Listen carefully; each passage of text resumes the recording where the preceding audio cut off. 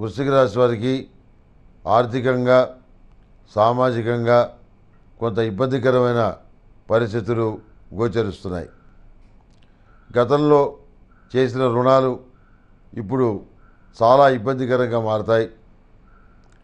ఆస్తులు అమ్మి వడ్డీలు కట్టాల్సిన పరిస్థితి ఏర్పడుతుంది. దాని నుంచి తప్పించుకోవడానికి మీరు వేసినటువంటి వ్యూహం ఫలిస్తుంది. ఆస్తులు దక్కించుకోగలుగుతారు రుణాల్ని తీర్చివేయగలుగుతారు. అదే కోణంలో మీరు పెట్టినటువంటి పెట్టుబడులు వాటికి సంబంధించిన ప్రతిఫలాలు పది రెట్లు రావడంతో మీకు వెసులుబాటుతో కూడిన వాతావరణం ఏర్పడుతుంది. వృత్తి ఉద్యోగాల పరంగా బదిలీ కానీ ట్రాన్స్ఫర్ కానీ రావచ్చు. అయినప్పటికీ ఈ కార్యాలయంలో ఉండేటువంటి రాజకీయాలు అలాగే ఉంటాయి. ఎవరు పనిచేసేవాడు ఉండడు. అంతా టీ తాగుతామని పానేసుకుందామని బయటికి వెళ్ళేవాళ్ళు తప్ప సీట్లో కూర్చొని గంట కూడా పనిచేసేవాడు ఉండరు. అన్ని పనులు కూడా మీరే చేయాల్సి ఉంటుంది. అయినా మీ మీద ఎవరికి కూడాను ఒక గౌరవం కానీ ఒక సానుభూతి కానీ ఉండదు. కాకపోతే కొంచెం భయం ఉంటుంది. ఈయన పని ఎగ్గొడితే మనం చేసుకోవాల్సిన మనం చేసుకోలేక చస్తామని చెప్పని మనసులో గౌరవం ఉన్నా లేకపోయినా నమస్కారం అండి అని చెప్పి మనస్ఫూర్తిగా ఓ నమస్కారం మాత్రం మీకు పెడతారు. కుటుంబపరమైన విషయాలు అనుకూలంగా ఉన్నాయి. ఉద్యోగ సంబంధమైన విషయాలు ప్రతికూలంగా ఉన్నా వివాహాది శుభకార్య సంబంధమైన విషయాలు ఒక కొలికి వస్తాయి ఓ దారికి వస్తారు. అన్ని విషయాల్లో అనుకూలమైన వాతావరణం కుటుంబపరంగా ఏర్పడుతుంది. బంధువుల్లోనూ సన్నిహితుల్లోనూ సౌ సహోదర సహోదరి వర్గంలోనూ మీకున్నటువంటి గుడ్ విల్లు అందరినీ అన్ని విధాలుగా కాపు కాసినటువంటి ఆ వైనం దాని తాలూకు ఉన్నటువంటి కృతజ్ఞత పర్వాలు మీకు ఉపయోగపడతాయి.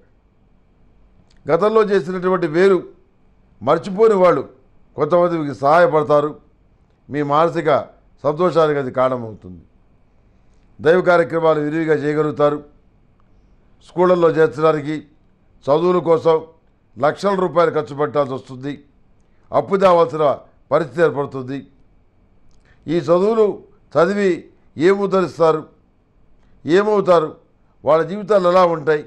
అనేది కూడా ఒక శేషప్రశ్నగానే మిగిలిపోతుంది. సమాధానం లేని ప్రశ్నగానే మిగిలిపోతుంది. ఏం చేస్తాం? నలుగురితో పాటు నారాయణ పది పొద్దుతో పాటు గోవింద. వాళ్ళు లక్ష రూపాయలు ఇచ్చి స్కూల్లో యూకేజీలో చేర్పించారు. మనము లక్ష రూపాయలు ఇచ్చి యూకేజీలో చేర్పించాలి. తప్పదు. వాళ్ళు ఒకటో తరగతిలో చేర్పించారు. రెండు లక్షల రూపాయలు డొనేషను యాభై వేల రూపాయలు ఫీజు కట్టారు. మనము కడదాం. చేయగలిగింది ఏముంది? మన సొంత ఆలోచనలకి ఏ రకమైనటువంటి బుర్రకి ఏ రకమైన పని లేదు. అందరూ చేసిందే మనము చేయాలి. రెండో ఆప్షనే లేదు. నేను వేరే దాన్ని వెళ్తాను అంటే అదేదో మైలపడ్డట్టుగా చూస్తారు. అందులో ఉపయోగం లేనట్టుగా చూస్తారు. మీరు వాళ్ళ జీవితాలకి అన్యాయం చేసినట్టుగా భావిస్తారు. మారుతున్న సమాజం మారుతున్న తీరు. ఇదెక్కడ గొడవ? వెనకడికి ఏదో జ్వరం వచ్చి మేము చిన్నప్పుడు ఆసుపత్రికి వెళ్తే ఓ రూపాయితోడు అర్ధ రూపాయితోడు సరిపోయేది. ఇప్పుడు జ్వరం వస్తే అన్ని రకాల టెస్టులు చేస్తున్నారు.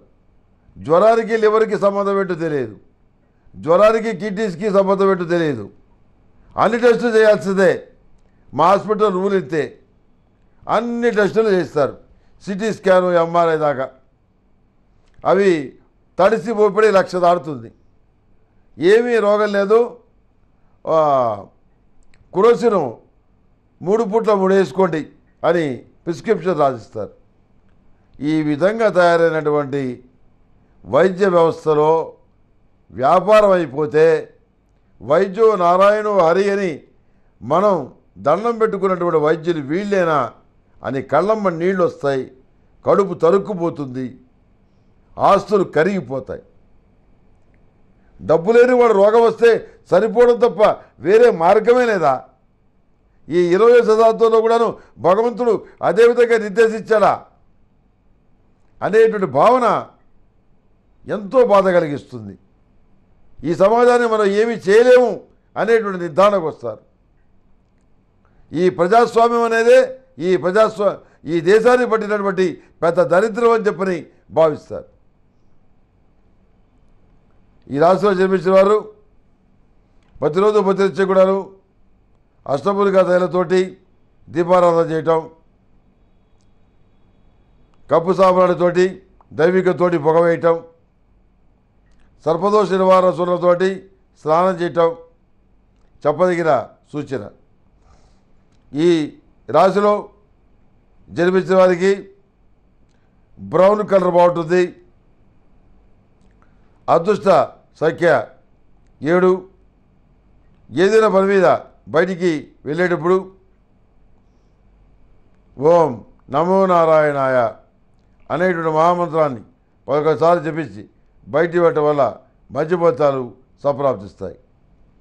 ఏ పూజైనా ఏ నోమైనా ఏ వ్రతమైనా ఏ అభిషేకమైనా ఏ హోమమైనా ఆర్డర్ చేయండి. అందుకు అవసరమైన పూజా సామాగ్రిని డోర్ డెలివరీగా పొందండి. ఈరోజే మీ పూజా సామాగ్రి కొరకు ఈ పూజా స్టోర్ డాట్ ఇన్లో లాగిన్ అవ్వండి.